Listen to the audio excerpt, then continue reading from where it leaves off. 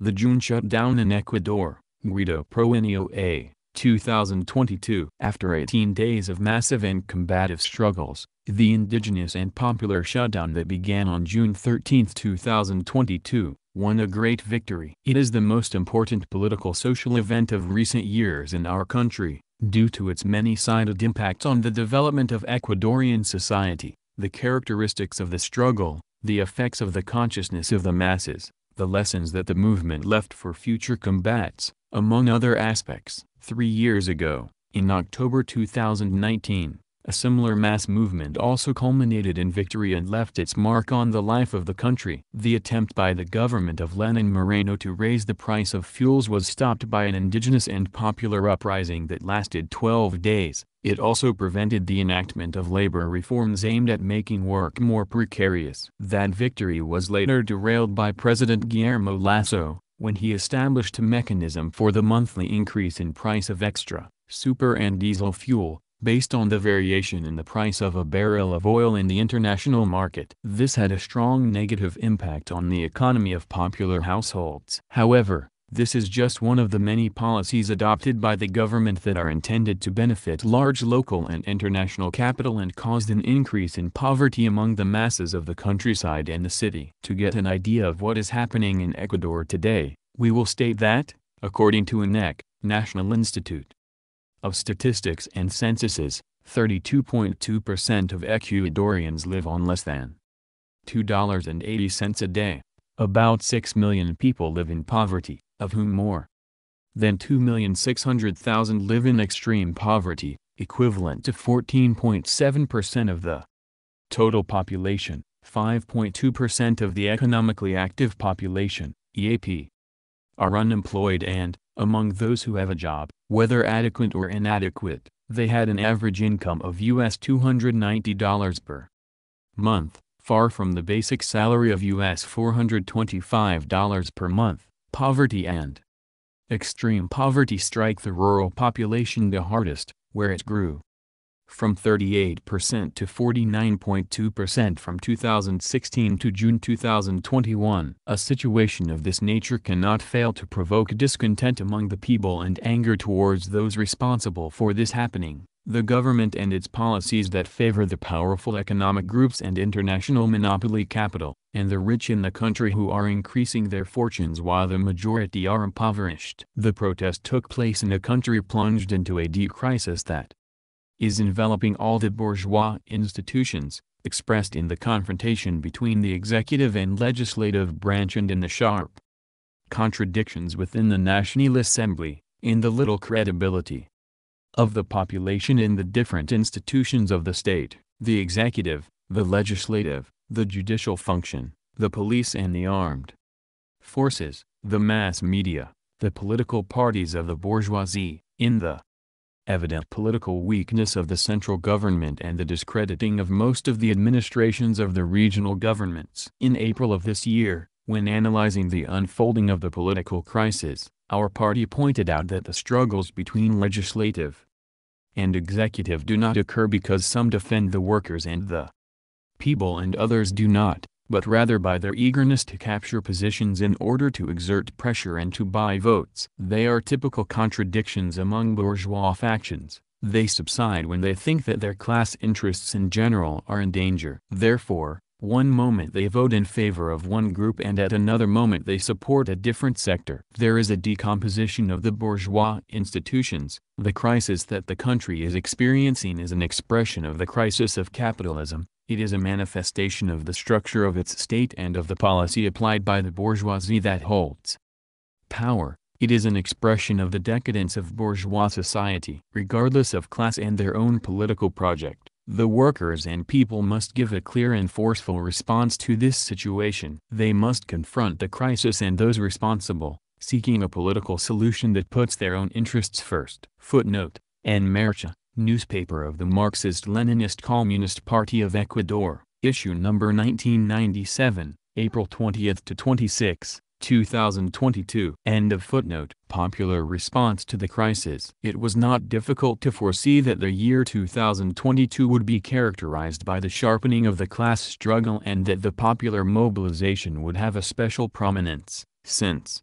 In addition to the harsh living conditions of the workers and the people, the government planned to carry through the main economic political projects of its neoliberal program. It announced its interest in privatizing several profitable state-owned enterprises, such as the CNT, National Telecommunications Corporation, expanding the oil exploitation area, including the impact on Yasuni Park, expand large-scale mining, handing over concessions to international monopolies, adopt labor reforms that would lead to the precariousness of work, and approved a state budget with cuts to the education and health sectors. In January, the Popular Front and the United Workers Front called for the first mobilizations to reject the government's policy. From then on the protest actions were constant and diverse in terms of the social sectors that chose to take to the streets, small and medium producers of corn, rice, dairy farmers, health workers and professionals, the women's movement, university and secondary school, students, defenders of the environment, residents of poor neighborhoods, Social Security pensioners, patients in IS, Ecuadorian Institute of Social Security, hospitals, among others. They led mobilizations, sit-ins and cut off roads. Of particular importance were the mobilization of May 1 and the teachers' struggle grouped in the National Union of Educators, UNE. The marches on the occasion of the celebration of May 1 warned of a new spirit among the masses and the resurgence of the popular movement as a critical actor in the situation of the country. They were numerous mobilizations. They expressed the repudiation of the government's anti-popular and sellout policy. They condemned the announcement of the privatization of state enterprises and the anti-worker labor policy. They rejected poverty, unemployment and the government's inability to solve the pressing problems of the workers and the people. Popular dissatisfaction was evidenced in the shouts, only the people can save the people and let them all go, which resonated throughout the country and were also expressed in future protest actions. The constant mobilization of the teachers throughout the country forced the National Assembly to ratify the reforms to the Law I, Organic Law of Intercultural Education, approved by the previous legislature. This reiterated the right of teachers to equalization of salaries. However, the government's intention to ignore this resolution led to the deepening of the struggle and the declaration, on May 3, of a new hunger strike, which lasted 18 days and culminated in victory with the resolution of the Constitutional Court supporting the demand of the UNE. For several months, the Ecuadorian teachers carried out mobilizations, sit-ins, hunger strikes, seizures of the premises of public institutions, presented proposals, etc. It was the first social sector in the country that confronted the government and taught a great lesson. It is possible to win rights, but to do so one must fight and have a correct political leadership. The continuous deterioration of the living conditions of the people, and the government's decision to stand firm in the implementation of its neoliberal economic program, raised the need to organize, New protest actions. The Popular Front called for making June a month of struggle of the workers and peoples of Ecuador, which would be expressed in local and general actions of the various social sectors for their particular demands and against the anti-popular policy of the government. Together with this, the FIT, United Federation of Workers, called for a new national day of protest for mid-June. The indigenous and popular movement takes to the streets on Monday, June 13 the shutdown called by CONAIE, Confederation of Indigenous Nationalities of Ecuador, FENOCIN, National Confederation of Indigenous and Black Organizations, and FEINE, Council of Indigenous Evangelical Peoples and Organizations, began. From the first day, the movement showed strength and garnered sympathy from other sectors of the population who saw the ten demands presented to the government as their own. Likewise, from the beginning one could judge the discourse of the government and the right wing used to confront the protest. Guillermo Lasso called for unity against organized crime. The Minister of the Interior, Patricio Carrillo, went further in warning that looting and kidnappings would take place and threatened to unleash harsh repression. The right wing, said that the purpose of the mobilization was to overthrow the government and the people of Mines and Quito repeated the discourse. That the indigenous people quote are coming to destroy the capital unquote and that they should stay in their provinces. Footnote on the quote, the mayor of Quito, Santiago Guarderas, was among those who spread these views and encouraged holding marches against the presence of the indigenous people in the city. He also presented precautionary measures so that the National Assembly would not debate a possible revocation of the emergency decree issued by the government. End of footnote. It was learned that the police had a plan to infiltrate civilian agents into the protests, for operations of repression and to commit acts of provocation. Although in their initial statements, Lasso and other high government officials underestimated the strength of the movement and strove to deny the reasons for the struggle, they could not hide their concern and therefore they always appealed for repression. It could be seen that in the upper echelons a double discourse was being played, while the Minister of Government, responsible for political relations, and negotiations of the President with the National Assembly, Parliament, and with local government and social organizations. Translator's note, Francisco Jimenez, spoke of the willingness of the government to dialogue. Others strove to discredit the protest and threatened to implement the progressive use of force. Footnote this confirmed the denunciation maintained by popular and left-wing organizations that the true purpose of the law known as the progressive use of force was mainly oriented to repress social protest. That law was approved a few months earlier in the National Assembly, with votes of Correa's party, UNES, Union for Hope, Social Christians, ID, Democratic Left, CREO, Creating Opportunities, the so-called independents and those assembly members of Park, Pachakutik identified with the government. End of footnote. An important element was the rapid adherence of the popular sectors of the cities, from the first day secondary and university students, residents of the popular neighborhoods, teachers, artists were mobilized. They were gradually joined by unions, health professionals, retail merchants, drivers and other contingents either as combatants in the street or carrying out actions of solidarity and logistics. The result of the first day of struggle included the blocking of highways in several provinces, mainly in the provinces of the Amazon and in the Central and North Sierra, and demonstrations in several cities. However, the Minister of Government said that the number of demonstrators was substantially lower than we expected. Gasoline to put out the fire. In the early morning of June 14,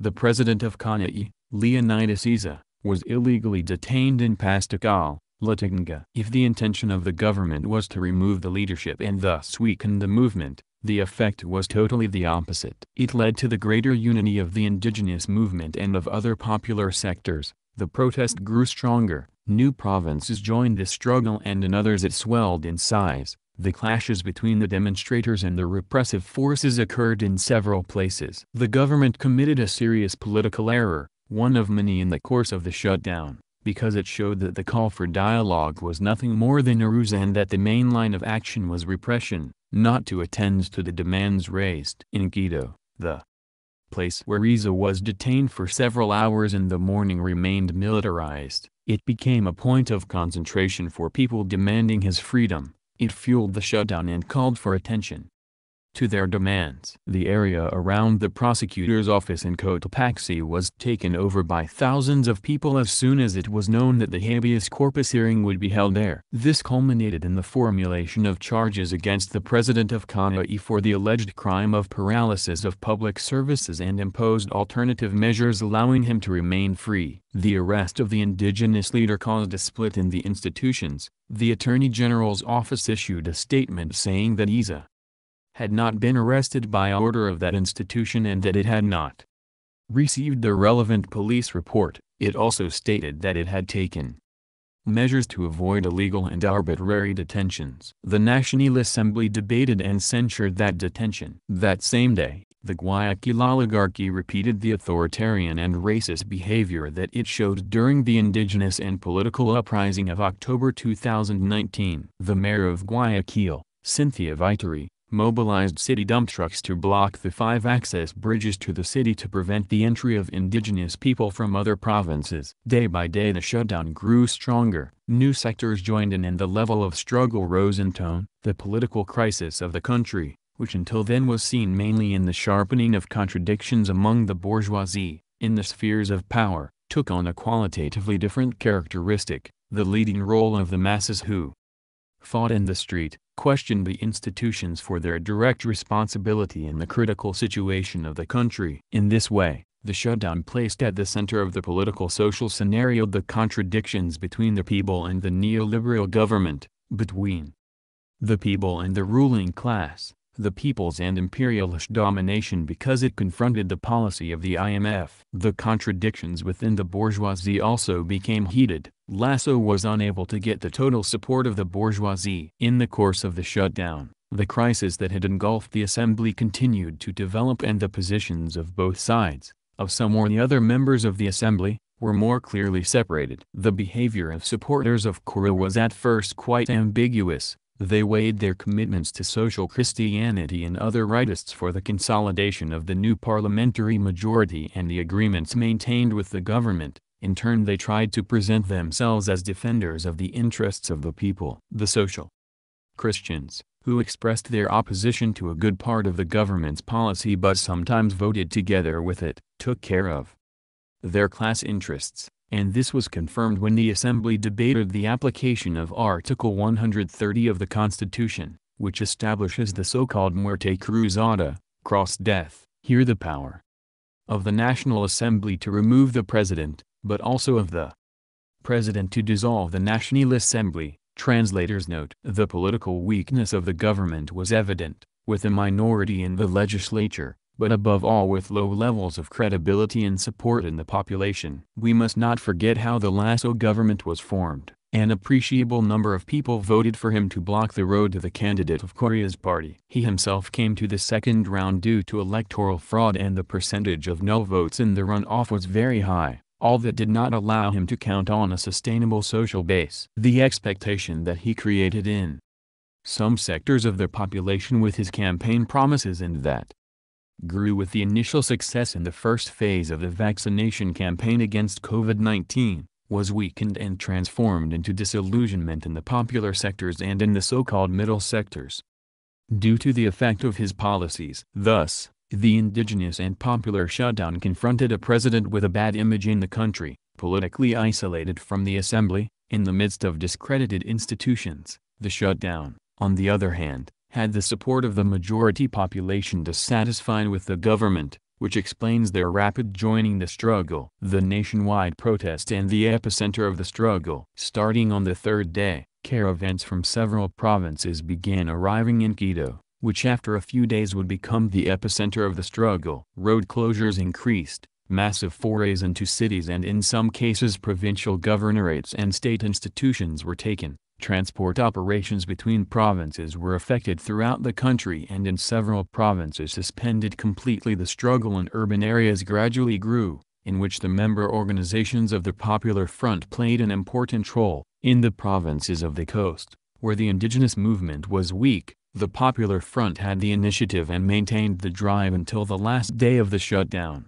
both in the cities and in rural areas. The day of protest called for June 16 by the UNE and the Popular Front gave a particular impetus to the struggle in the cities. It took place in 23 provinces. It was the first time that the shutdown took place simultaneously throughout the territory. The development of the struggle showed the leading role of the two parts of the popular movement, the indigenous movement, led by CONAIE, and the organizations of the Popular Front. Undoubtedly, the vigorousness of the indigenous movement is greater. Hundreds of popular organizations of different types, political movements and parties of the left are also present, such as Popular Unity, the PSE, Ecuadorian Socialist Party, the PCM, Marxist-Leninist Communist Party of Ecuador, the GVRISH movement, among others. The indigenous movement concentrated its forces in the capital, about 15,000 people came from several provinces. As they arrived they were housed in communal houses in the popular neighborhoods, but these were insufficient. They launched the demand, opened the universities, to turn them into centers of peace and humanitarian safety zones. The Central University of Ecuador, the National Polytechnic School and the Salesian University opened their doors for that purpose. The capital was taken by the demonstrators, not only by those who came from other provinces, the student youth, women's organizations, artists, teachers and professionals joined the struggle. Traffic was scarce, private and city public transport was paralyzed. In the afternoons and evenings there were sectors of the city totally controlled by the protests, especially in the center and south, In the popular neighborhoods the drive began at night. The development of that day allowed one to see the political experience gained by the indigenous and popular movement. Now, unlike similar days before, they concentrated forces in Quito without abandoning or weakening the struggle in the territories. This was made possible by the uniting of several factors, such as the joint action of CONAIE, FENOCIN, FEINE, the participation of other organizations such as the Popular Front, which sustained the struggle. In the cities and provinces of the coast, the discontent of the popular sectors with the government, the identification of these sectors with the platform of the proposed struggle. Concentrating forces in the capital was a certain and a political necessity. It allowed the movement to project a message of its strength to the whole country, of its capacity for struggle. The political decisions that it took in each circumstance and allowed it to act quickly and directly on the executive and the legislative authority with the strength of the masses. The carrot and the stick five days after the shutdown began, President Lasso announced a state of emergency in the provinces of Pichincha, Cotopaxi, and Imbabura, which authorized the police and the armed forces to use lethal force, restricted the right to information, prohibited public meetings and demonstrations and, in Quito, declared a curfew. The restriction on the right to freedom of information established that the government may require providers who operate public telecommunications networks to suspend, degrade the quality or temporary limit services. So far, no government has proposed such measures. In his television message, Lasso echoed a discourse promoted by the most reactionary right-wing media, assuring that he is committed to defending the capital. Particularly the restriction of the right to information, forced the government to retract the question of freedom of information the next day. Despite having banned public gatherings and demonstrations, he supported and joined the call for the so-called March for Peace called for in Quito by the right wing and the well-off children against the shutdown. In the National Assembly, voices were raised calling for the revocation of the decree. Two days later the President of the Assembly, Virgilio Saquicela, summoned the plenary of the Assembly to deal with the issue. A political legal maneuver of the government prevented that decree from being discussed in the legislature. Footnote, on June 20, while the National Assembly was debating a motion to repeal the state of emergency established on June 17, the government repealed that decree and submitted a new one, which prohibited freedom of assembly or association in public spaces, but accepted peaceful demonstrations and extended the state of emergency to the provinces of Tungurahua, Chimborazo, and Pastaza. That way the assembly could not deal with something that did not exist. End of footnote. Despite the fact that Lasso and other high officials pointed out that there was no reason for protest, that the government was attending to the needs of the people, at the same time that decreed the state of emergency he announced that the bonus for human development would rise from US $50 to US $55 that overdue loans of up to US $3,000 in BanEcuador would be forgiven, that there would be a subsidy for small and medium farmers and that these measures would have an immediate effect. He said that he intended to open credit lines of up to US $5,000 for farmers with a term of 30 years. He also declared that the public health system was in emergency and announced that he would double the current budget for the bilingual intercultural education system. It is not difficult to see that the measures adopted on Friday, June 17, implied the recognition that the movement had strength and that he was trying to deactivate it or at least to decrease its intensity. He said nothing about one of the main demands of the shutdown, the reduction of fuel prices. The response of the indigenous and popular movement was that what Lasso announced was fine, but it was not enough, that there was a 10-point platform that must be addressed. Therefore, the struggle continued. With the state of emergency in their hands, the repressive plan of the government increased a notch. The national headquarters of the Ecuadorian House of Culture, CCE, was raided by the National Police on Saturday, June 18.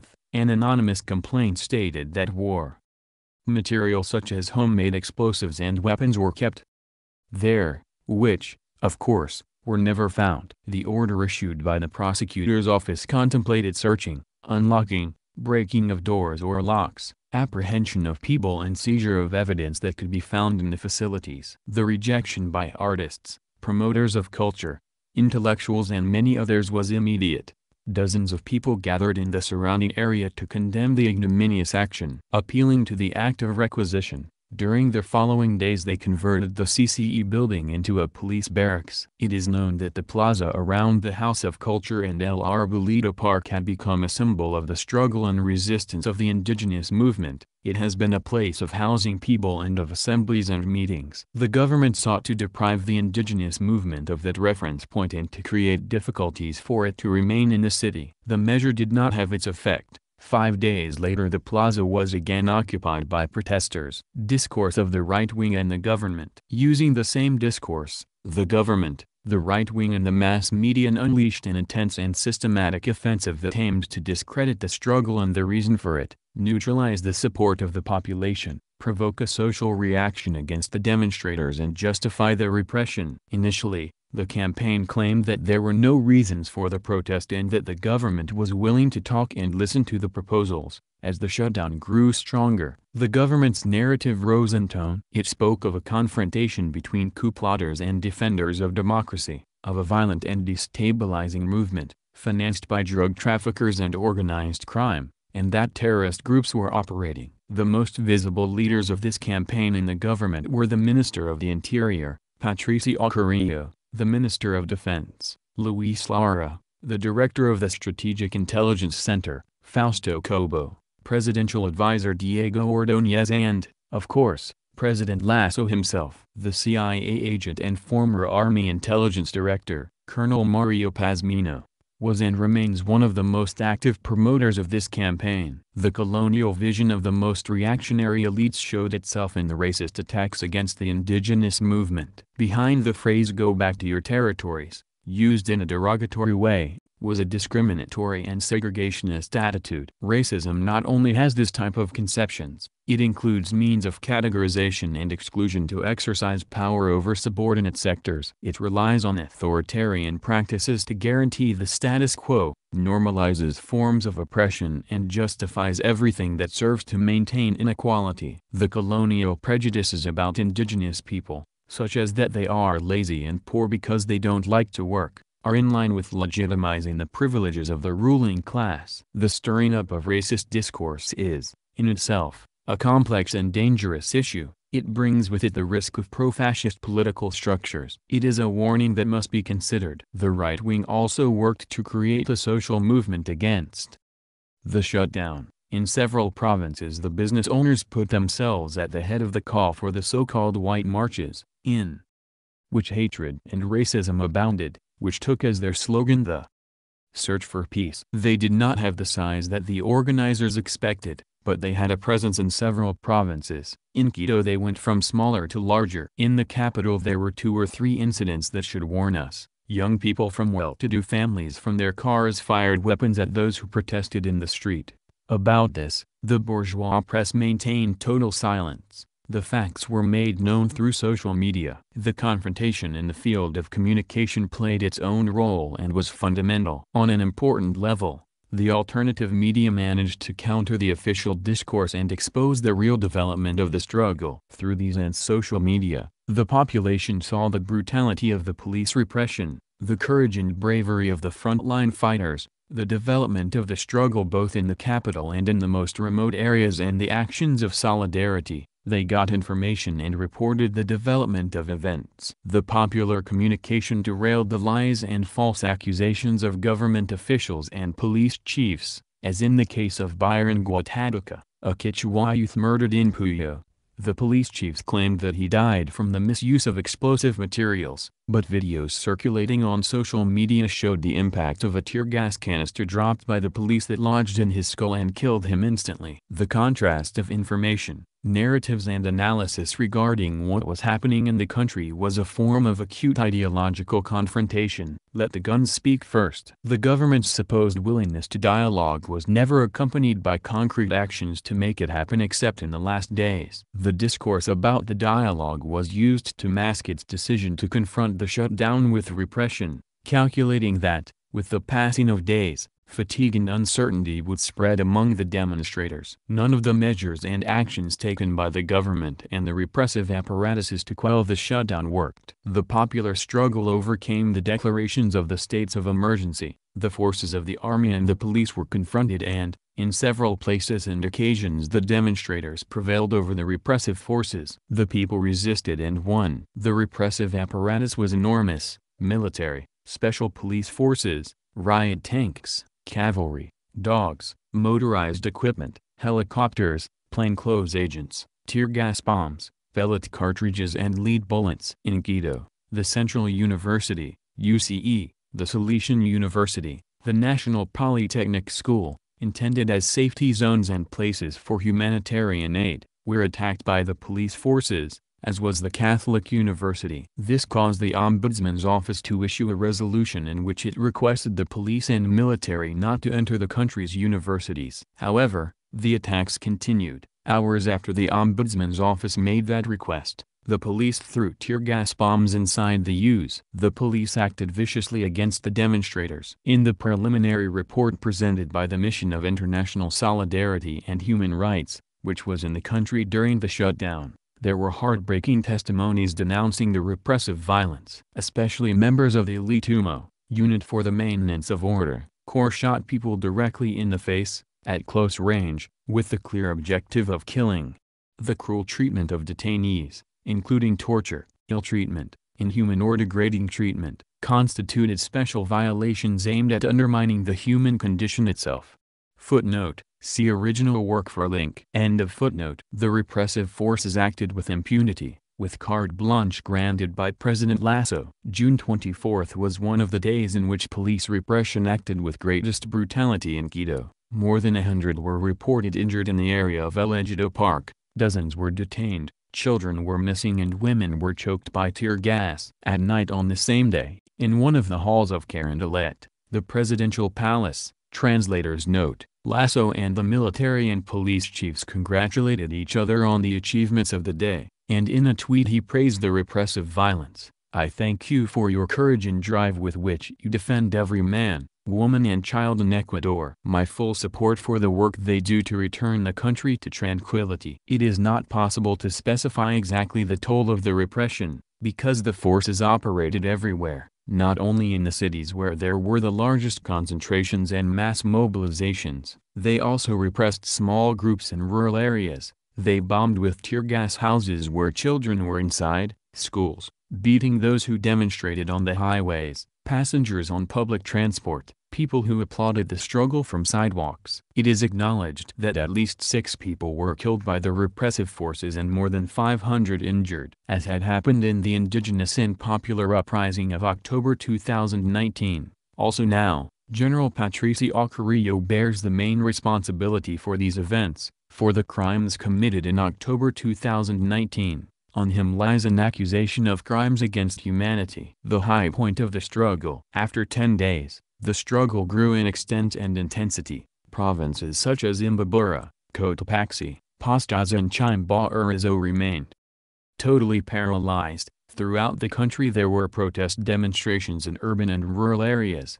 Dozens of oil wells stopped producing, food and fuel were scarce in the market. Truck, bus, van and taxi, Drivers joined the protest in several provinces. The businessman complained about the losses caused by the paralysis and demanded that it be put to an end. The movement was reaching its highest peak and the government was isolated. In the mobilizations, the slogan Lasso Out, a people's government, spread. The degree of discontent of the population and the discredit of the government were high, according to opinion polls. In those days, Disapproval of his administration was about 80%. The struggle achieved a political significance. The confrontation between the people and the government, the people and the ruling class became clear. The country was polarized around the shutdown. This circumstance was taken advantage of by Correa's party, UNES, which proposed that the assembly debate a demand for early elections, Muerte Cruzada,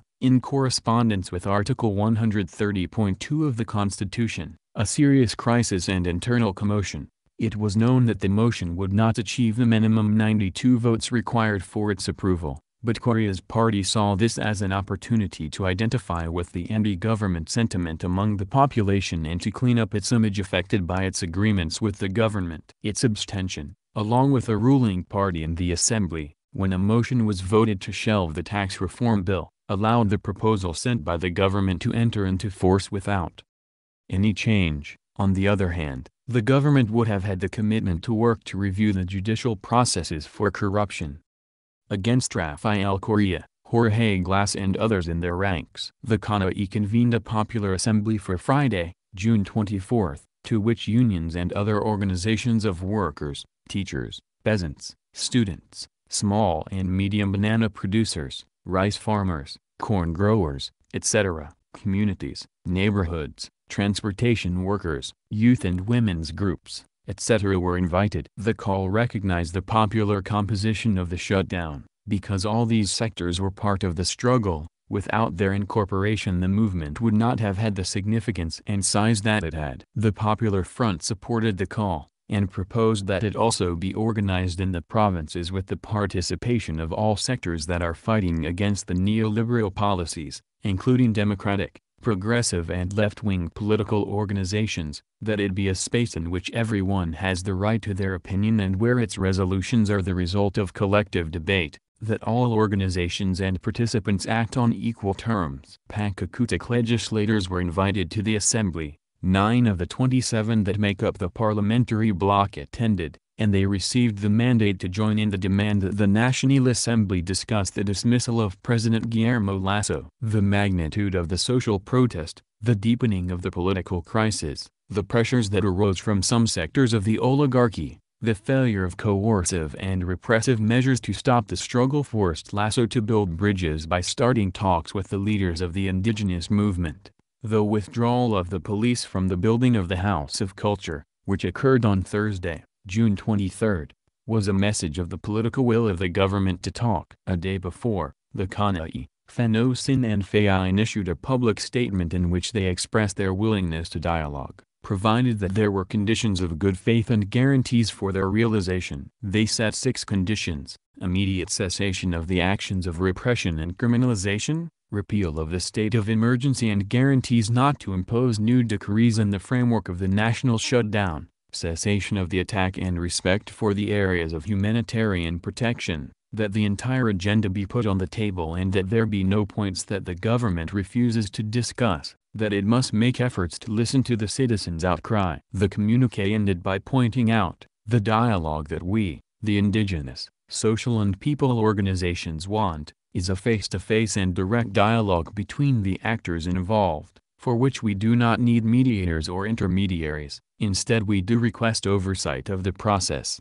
so we ask collectives, social organizations, national and international human rights organizations, to be guarantors of this dialogue process. Footnote, see original work for link. End of footnote. It seemed that the negotiations and an agreement between CONAIE, FENOCIN, FEINE and the government were close, which would put an end to the protest. However, the savage repression that broke out on the afternoon of the 23rd, which caused the death of young Henry Quezada, the injured, beaten, suffocated, missing children, intensified the levels of confrontation and a different situation was created. The possibilities of sitting down to negotiate were postponed. Not only in the vicinity of the National Assembly and El Ejido Park, the clashes with the police and the army were violent. There was a fight in the center and south of the city, in the north, near the middle of the world, site marking the line of the equator. Translator's note, army trucks carrying equipment to repress the protest were attacked by the demonstrators.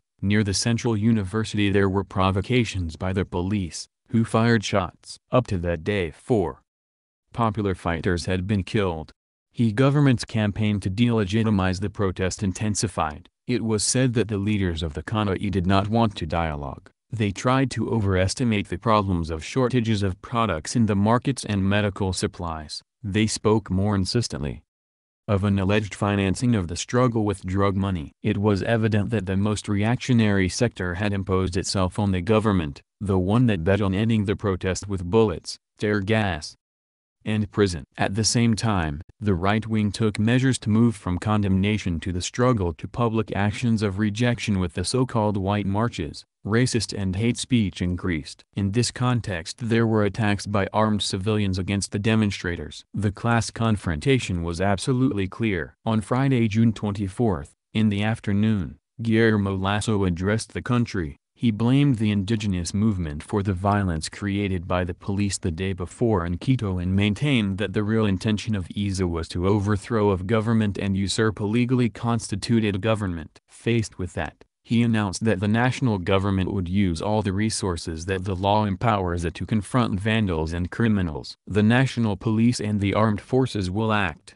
through the progressive use of force to ensure public order and democracy. He did not miss the opportunity to thank the Democratic left, the Christian Social Party, the National Accord Caucus and the Assembly members who have publicly demonstrated in favor of the constituted order. The conclusion of the president's message meant the order for the police to savagely attack those who were in the plaza around the House of Culture, where in the morning the People's Assembly was established, and in the vicinity of El Ejido Park. We are no longer going to push back but to repress with the progressive use of force. We are no longer facing protesters with a social demand but a group of criminals, said Minister Patricio Carrillo. In that afternoon alone, more than a hundred people were injured, doctors, medical students and volunteers who were carrying out relief actions in the protest organized a humanitarian cordon to protect hundreds of women children and men who were ambushed by the police and the army, thus preventing them from continuing to beat,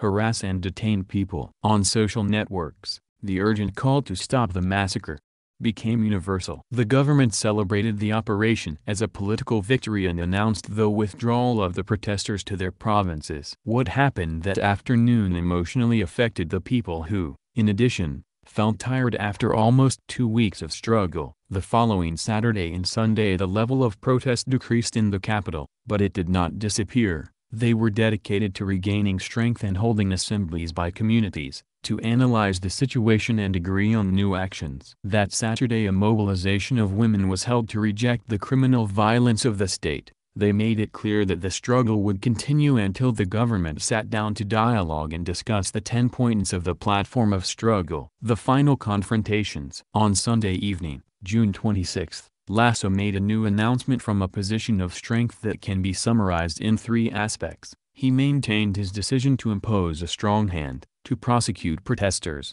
in particular the leaders. He would intensify the repression through the application of the progressive use of force, and, he decided to reduce the price of gasoline and diesel fuel by 10 cents. Government spokespersons said that, with this announcement, there was no longer any reason to continue the shutdown, that the effort of the state would cost $260 million which, added to what it had announced a week earlier, would be an expenditure of $600 million. The response of the various popular and political organizations was immediate. The Revolutionary Youth of Ecuador, Popular Unity and the Popular Front agreed that the struggle of the people was for more, that the government had to respond to the entire platform presented. The CAI delayed in making its opinion public, it described the reduction as insufficient and insensitive, that the government was blind to the situation of poverty that the people are living in and it also insisted that the entire platform be addressed. Although, as we said, the announcement was made from a position of strength, it was not difficult to understand that the government knew that it had to give up something on an issue that it had considered taboo and that was the one that provoked the most interest in the population. At that point, including the announcements on June 17, there were already five points on which it was forced to give a response. These were achievements of the struggle, but the decision of the rank and file was to continue the shutdown until attention was paid to the entire platform and that the decrease in the price of fuels had to be greater. Meanwhile, the debate on the so-called Muerte Cruzada began on Saturday afternoon, June 25. In some sectors, there were great expectations raised as to their result. Lasso sent a representative and made a new maneuver, to remove support from the request for a trial, he announced the repeal of the state of emergency due to serious internal commotion. Three days later the Assembly made a decision, 80 legislators voted in favor, 48 against with 9 abstentions. A sector of the Democratic left, the Christian Social Party, the National Accord Caucus voted to save Lasso. Some Pachakutik and Democratic left legislators abstained, expressing support for the government. Nothing else could be expected from an assembly which, with the exception of a few assembly members, does not represent the interests of the workers and the people. They have not thrown Lasso out, but the majority of the people all over the country have shouted, Lasso out. The President of the Republic cannot feel victorious after this result, because only 48 assemblymen voted in his favor, but beyond that, millions of Ecuadorians have repudiated him and have shown it during this indigenous and popular uprising, said the editorial of En Marcha, issue 2007. Footnote, see original work for link. End of footnote. The people continued to arrive in Quito the weekend provided relief forces. The news of the brutal repression of the previous days inflamed their spirits and new contingents were enlisted to go to the capital. On Monday, June 27, the protests had a new impetus across the country as UI was added to the provinces that were paralyzed previously.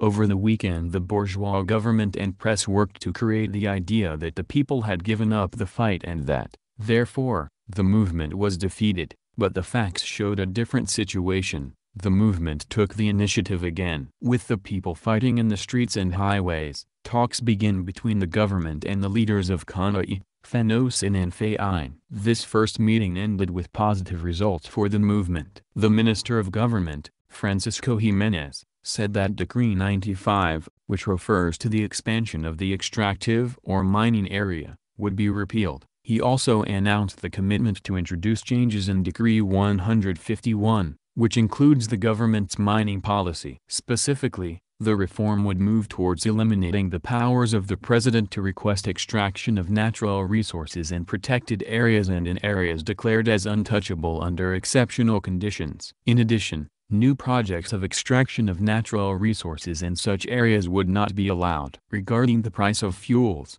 there was the offer to focus on a new price. The events that took place in the early hours of Tuesday, June 28, in Shushufindi, served as a pretext for the government to break off the dialogue. The population confronted members of the army and police guarding a convoy of 17 tankers carrying fuel, which was heading towards the ITT, Ishpingo Tambococha Tiputini, oil block. In the clash one soldier died and several were injured. Throughout the shutdown, the population kept control of this road without any acts of violence. There is no doubt that this was a provocation by the security forces. With an authoritarian and threatening tone, Lasso said that they will not sit down to dialogue with Leonidas Iza again, because you cannot dialogue with those who try to hijack the peace of Ecuadorians. The prosecutor's office joined the government's game and opened more than 260 investigations for rebellion, terrorism, paralysis of public services and extortion. Again the government bet that the fatigue of the popular fighters and the population and the repression would force the end of the shutdown.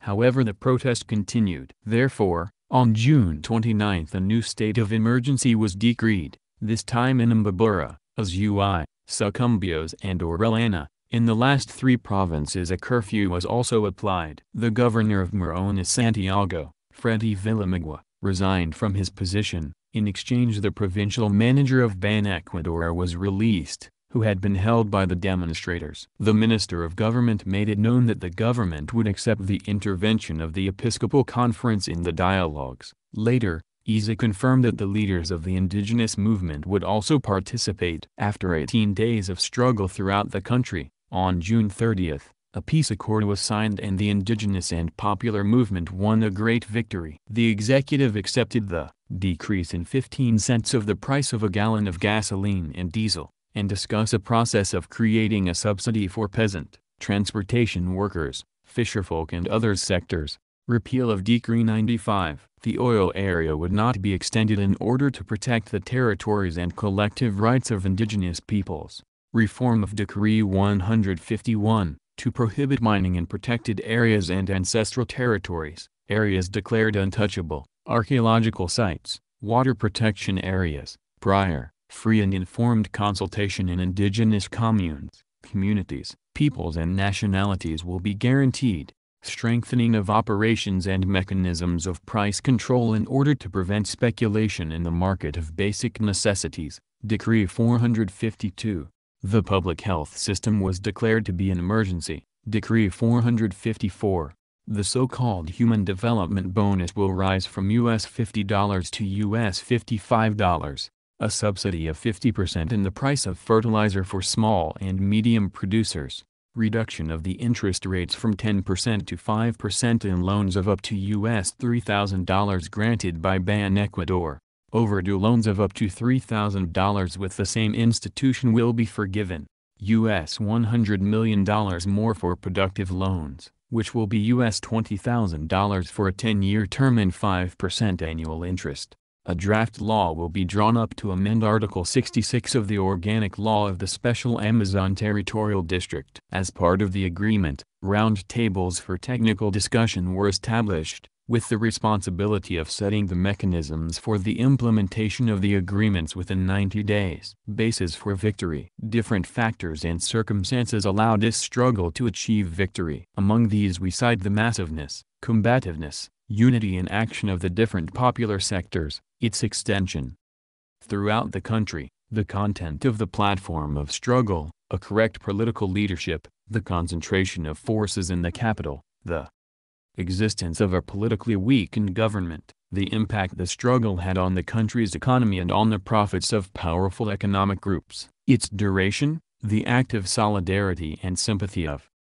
broad sectors of the population. The struggles of the Ecuadorian indigenous movement have been characterized by their massiveness. In this, the communal social organization plays transcendent role, everything having to do with the life of the community is resolved collectively, everything agreed to is executed collectively. The first indigenous uprising, in 1990, already showed the massive participation of young people, women, mothers with their children, adults. From then until now, the indigenous movement has been strengthening and showing itself as a social actor that cannot be ignored when defining state policies, nor in the daily development of Ecuadorian society, which has also developed as a strong political actor. The resistance struggle of the indigenous movement is not limited to protecting its cultural elements, which in itself is a hard and enormous historical task. It is a battle to achieve their recognition as indigenous peoples and nationalities with the same rights and options of the mestizo nation,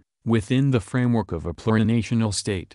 It is a struggle to overcome the condition of oppressed peoples. This idea has developed at the level of social consciousness and is one of the elements that motivates its action. Of course, they fight for water, for irrigation, for fair prices for their products, for credits to produce, in defense of their lands and territories, for education for their children, and by fighting for this they are protecting their own existence.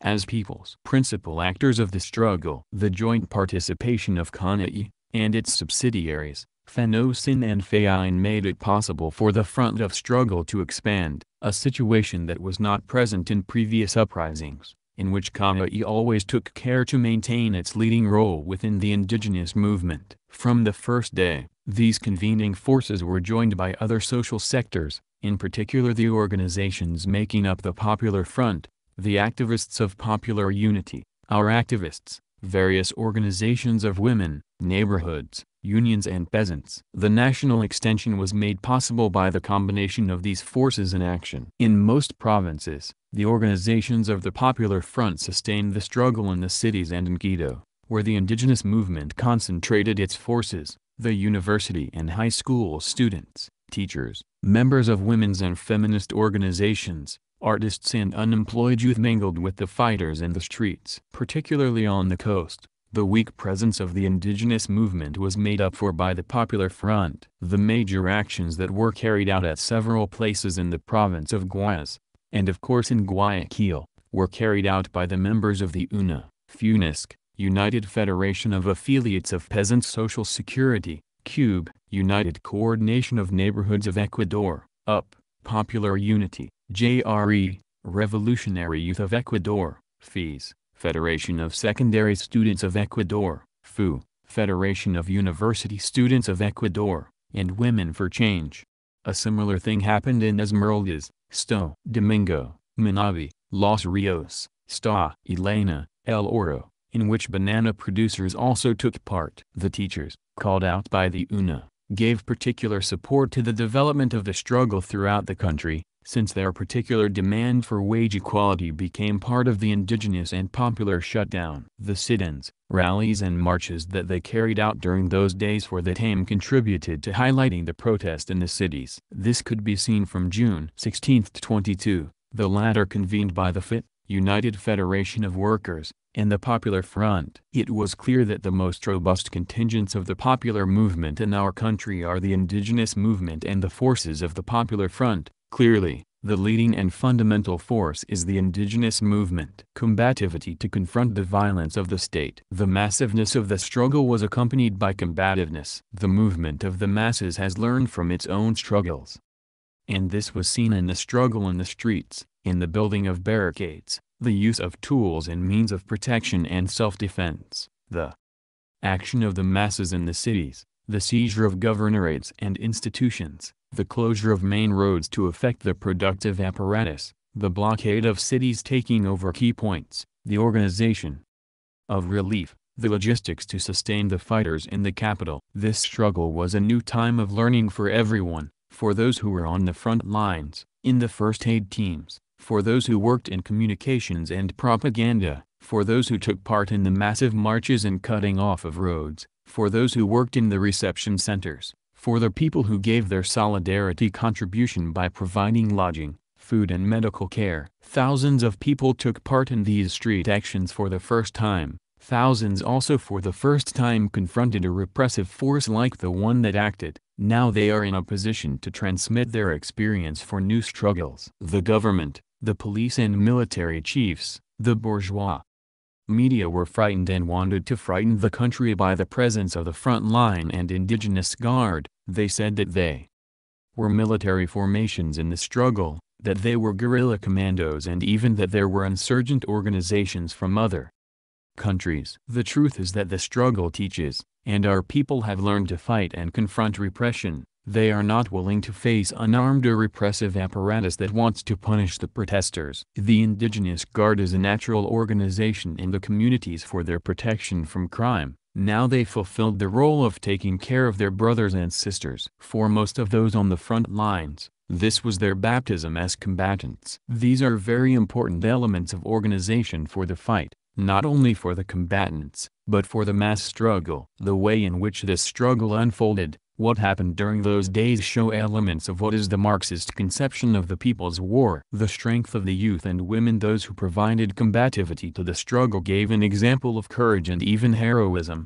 They were young men and women who came with their indigenous communities, others who lived in the cities but who did not cut themselves off from their national situation and contributed to their people, high school and university students, the unemployed, artists. Among those thousands of young people from the city and the countryside were our militants, the comrades of the revolutionary youth of Ecuador, of the FIS and FU, of popular unity. The Ecuadorian youth have always been characterized by their social sensitivity, by their willingness to join the struggle against the anti-popular policies of the various governments, to defend their rights and those of the people. These young people have always been victims of the oppression and exploitation of this system, which provides them with nothing but uncertainty, hopelessness, it denies them education and work and forces them to flee the country to look for options in other areas, where it does not find them either. The Ecuadorian youth are always frontline fighters. The leading role that women had shown in previous days was repeated, it is not possible to conceive of a popular uprising without their presence. Lasso said that they were being used when they led the marches and that the children were also being used. He did not only say it because of his ignorance of indigenous culture, but because he tried to discredit the leaders of the movement from a patriarchal and male chauvinist position. In the midst of the obstacles that they face, such as having almost no opportunity to have access to the labor market, the economic and geographical difficulties in getting access to services such as education and health, their marginalization and other problems, the indigenous women are playing a decisive role in the struggle for resistance and self-determination of their peoples, they are guarantors of their culture and are playing a fundamental role in their families and in the community. The prominence of indigenous women in the shutdown was not determined by their massive participation, but by the way they acted. They debated in the assemblies and took part in their resolutions. They confronted the repressive forces, assumed responsibilities of leadership of the movement, in the work of communication, in logistics. In the organized popular movement, women have played a greater role, they have opened up and gained spaces for their own abilities and qualities. They are the main leaders in various trade union, student, teacher, peasant, indigenous, neighborhood and retail organizations, at the national and local levels, their presence in the actions and struggles of various social sectors showed an evident growth in the women's movement, due to its particular demands experienced a remarkable development in recent years. Reasons to fight The rapid support that the various sectors gave to the shutdown and their joining in the struggle was due to the enormous discontent that the population had with the government, because their living conditions have deteriorated even more in recent years. The application of neoliberal policies and the effects of the capitalist crisis in the country have led to an accelerated impoverishment of the population. The call for the shutdown was the opportunity to show their dissatisfaction and rebelliousness. The ten points of the platform of struggle included specific demands for the indigenous movement and the peasants, demands of general interest, such as the issue of mining and oil, but the population saw the decrease in fuel prices as the central and most important point. The results of a survey, published a month after the shutdown, showed that 54.88% of the population thought that the reason for calling the shutdown was the price of fuel, and 39.78% said that it was due to the high cost of living and the bad economy. Only 4.41% considered that it was for political or personal interest. This showed that, in this respect, the government's discourse had no hold on people. Even more specifically, when asked what were the main demands of the shutdown, 72.37% answered lower fuel prices, and 19.08% said the high cost of living. Millions of Ecuadorians identified their feelings and moods with the demands of the shutdown. The platform of struggle questioned the policy of the government and the neoliberal bourgeois factions, the shutdown was a response to the worsening of the crisis. The results achieved meant a political defeat for the government, a blow to the policy of the IMF. The money came from the people. This struggle was sustained by the masses in all respects. The government and reactionaries of all stripes make calculations and insist again and again that drug money financed the shutdown, but they have not shown it and cannot prove it. Among the many lessons that the shutdown left behind, the sense of solidarity occupies a special place. It does not fit in the minds of the bourgeoisie, specialized in seeing how to make a profit in everything, that a poor people give a part of the little they have to sustain. The struggle, peasant communities, neighborhood organizations, market merchants, student organizations, women's groups, families and individuals contributed with food, medicines, mattresses, blankets, clothing and everything that the permanence of the people in Quito demanded. The care of the children, food, provisions, medical care, relief and first aid in the mobilizations were covered all the time by professionals, students and young volunteers, who understood that these actions helped to sustain the combat, that this was their trench of struggle. The people fashioned their victory. The indigenous and popular shutdown ended in an important victory. The efforts of the government and its repressive apparatus, of the owners of big capital, of the bourgeois media could not isolate the mass movement and defeat it, as was their objective. The strength, unity, organization and struggle of thousands of men and women, young and old, isolated the government and defeated it. The government calculated that to meet the demands of the shutdown would mean about $1 billion. This is not a small amount, but it is not enough to meet all the unmet demands and needs. They will not do so because they want to but they were forced to. From their political conception, these resources should have been channeled into the payment of the foreign debt or for projects in which big international capital has benefited. We must remain vigilant so that the government fulfills what it has promised and so that the benefits of the proposed programs and actions reach those who need it most. The shutdown reaped victories in other fundamental areas of strategic importance for the Ecuadorian revolution. The indigenous and popular movement emerged strengthened in organization, in political experience, in its capacities and skills for struggle. During these 18 days, the class struggle was visibly at the center of the political life of the country. Our ordinary people saw and recognized who are part of their struggle, who are at their side and fight together with them for their common needs and demands. They also saw on the other side those who had all the support of the bourgeois institutions to quell the struggle and treated them with hatred and contempt. The workers, the youth, the peoples of Ecuador made great progress in the development of their political consciousness, in the recognition that society is divided between poor and rich, exploited and exploiters who, in order to maintain their class domination, have the government, the apparatuses of repression, the big media, the laws and the organs of justice at their service. In the consciousness of the people, the idea has been reaffirmed that rights are won by fighting, that the struggle bears fruit when it has strength. With that conviction they are prepared to raise new struggles, because the needs of the masses are many. In the country there has been a change in the balance of social and political forces, the organized popular movement has reached a new level, the indigenous movement has gained prestige and confidence among the population. There has been a promotion of leadership from the indigenous and popular movement, the left organizations have gained prestige, all the bourgeois institutions have been struck, the government has been further discredited, as the National Assembly, the organs of justice, the mass media and the political parties of the bourgeoisie have been.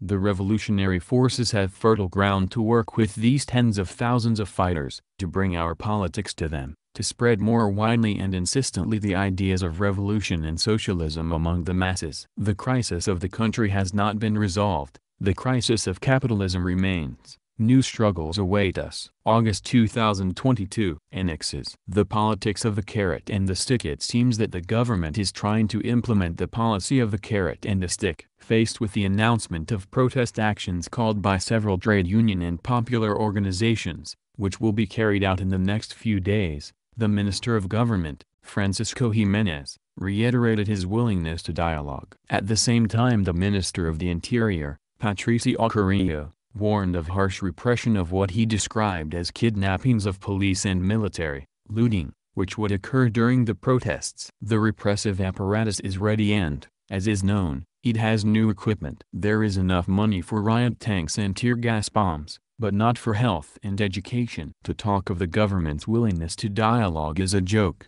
to say the least. Lasso and his group believe that to dialogue is to invite leaders of the popular movement, and not always true representatives of it, to tell them what the government plans to do and to refuse to listen to the opinions of the popular leaders. Months ago, commissions were formed to debate the labor issue and then to analyze the problem of social security, but nothing positive for the workers and the people came from these, to the point that, for example, the Workers' United Front decided to withdraw from these roundtables, between the views of the government and those of the organized popular movement, on the various issues of an economic, social and political order. There is a huge and marked difference. Lasso represents the interests of the big bourgeoisie and international monopoly capital, which are in total contradiction with the needs and aspirations of the workers and the people. So far apart are those interests that Minister Carrillo had no qualms about warning that the voices of protest would be silenced with a club and bullet. This is why there is so much interest and urgency in the approval of the law on the progressive use of force.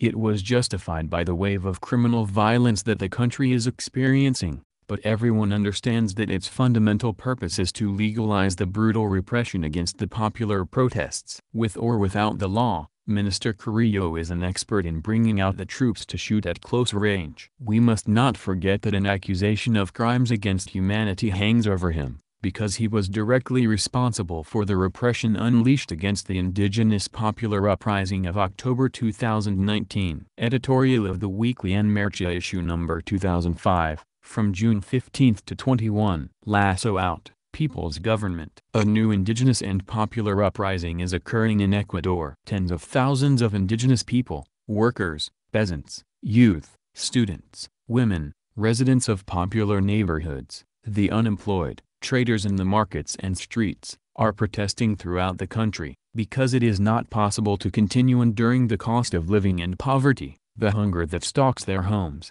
the lack of employment, low wages, the impossibility of gaining access to health and education. The crisis that the country has been experiencing for months in all areas, today has a qualitatively new element, the leading role of the masses in the streets, which has become the main element in the current political scenario. The contradiction between the people and government has been strained to the point that, together with the initial demands that motivated the struggle of the masses, today the departure of the president has been called for, lasso out, people's government.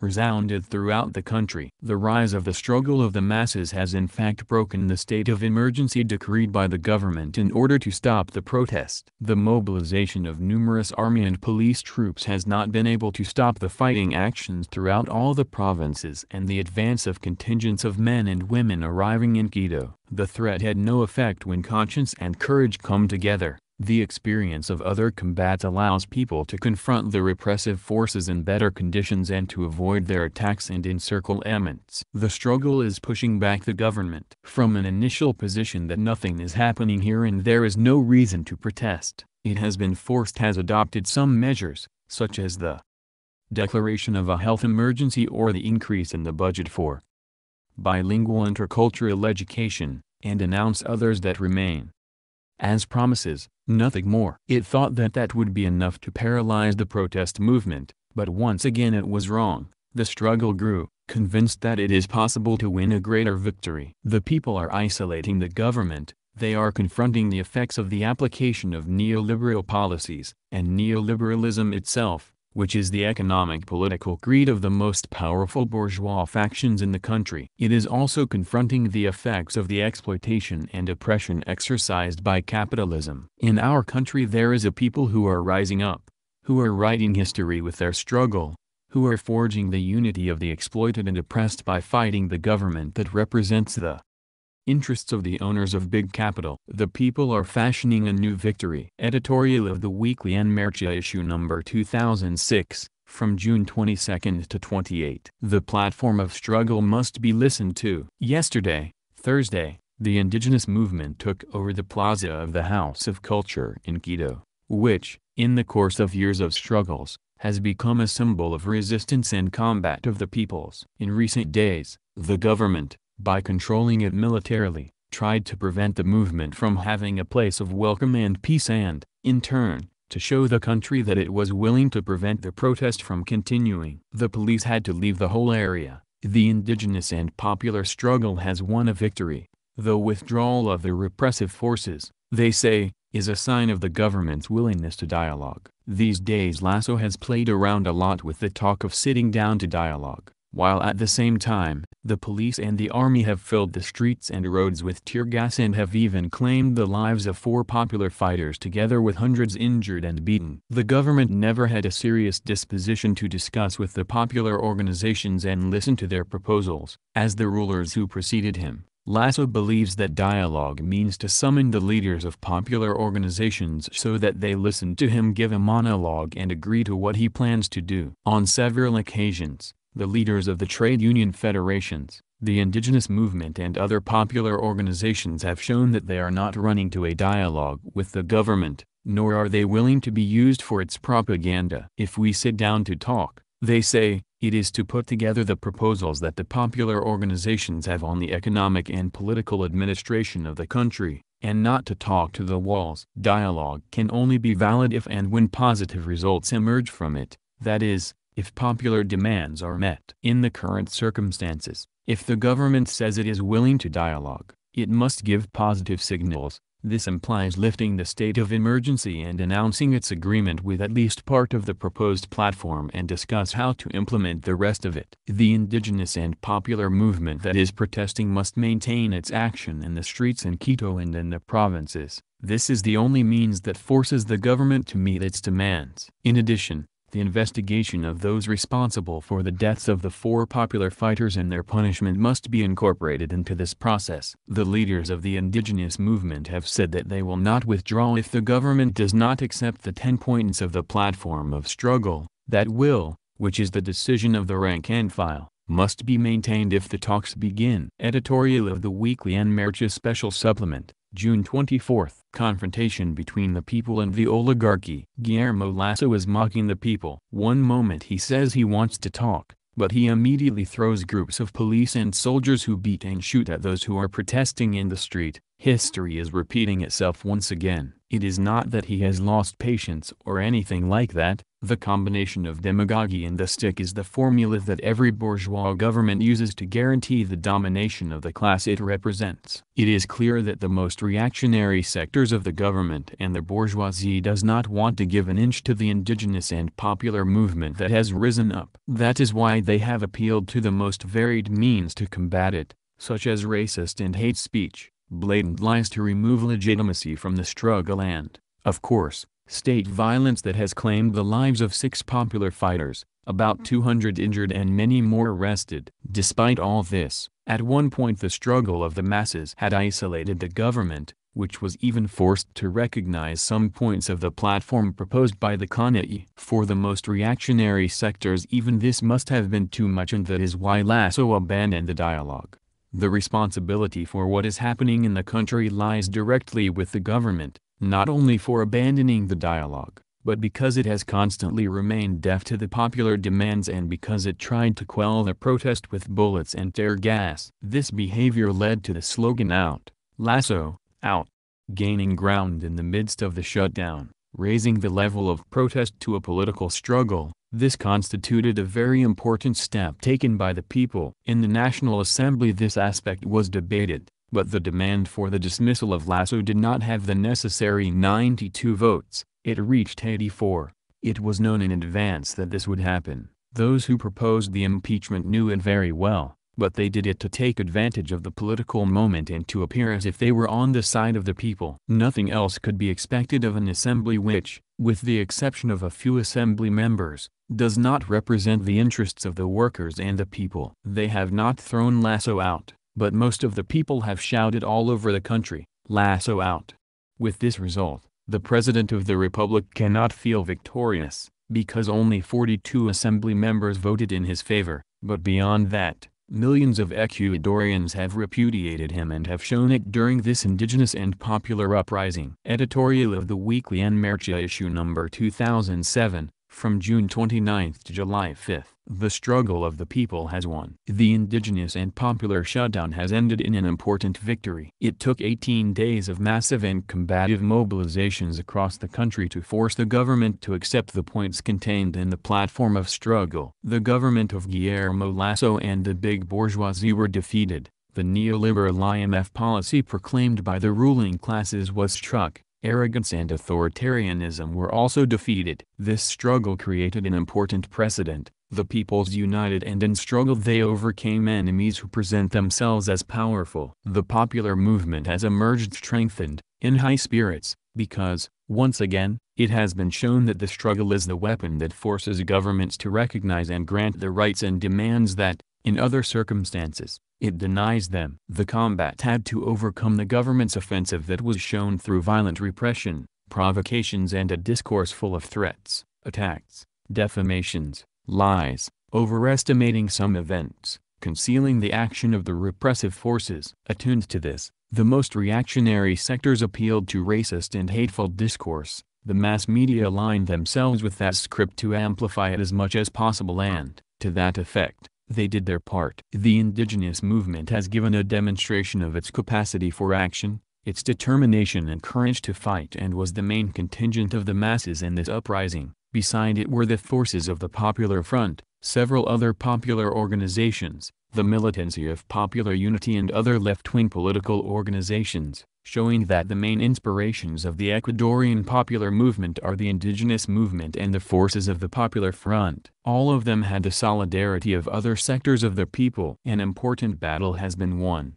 but the struggle of the workers and the people continues. There are many demands and grievances from different sectors that are pending and we must join with with them. The repeal of Executive Decree 457, which opens the door for the dismissal of thousands of employees and workers in the public sector, the struggle to ensure that the salary equality in the teaching profession is being implemented, the defense of social security and the payment of debts that the state has with the IS, the fight against the anti-worker labor policy, the struggle for the budget for education at all levels, among other aspects. In addition, we must remain vigilant so that the points of the platform of the shutdown that will be analyzed in several technical roundtables during the next 90 days are carried out. Editorial of the weekly En Marcha issue number 2008, from July 6 to 12.